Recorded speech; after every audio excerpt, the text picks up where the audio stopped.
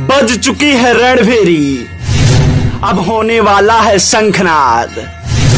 बिछ रही है चुनावी बिसात। किस करवट बैठेगा सियासत का ऊँट? नेता नहीं, जनता करेगी तय।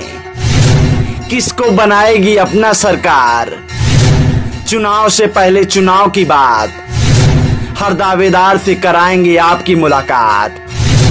देखिए आ रहा है पंचायत चुनाव। सिर्फ़ आपके अपने चैनल। वहीं सीधी के मझौली जनपद अंतर्गत ग्राम पंचायत सैजनहा में लोक जन कल्याण समिति के पदाधिकारियों ने लोक जन कल्याण समिति के युवा सेना अध्यक्ष सुरेंद्र साहू की पत्नी सुमन साहू ने ग्राम पंचायत से सरपंच पद के लिए पर्चा दाखिल किया है। जी हाँ बता दें, सीधी से खबर है जहाँ सुरेंद्र साहू की पत्नी सुमन साहू ने ग्राम पंचायत के सरपंच पद के लिए पर्चा दाखिल किया है।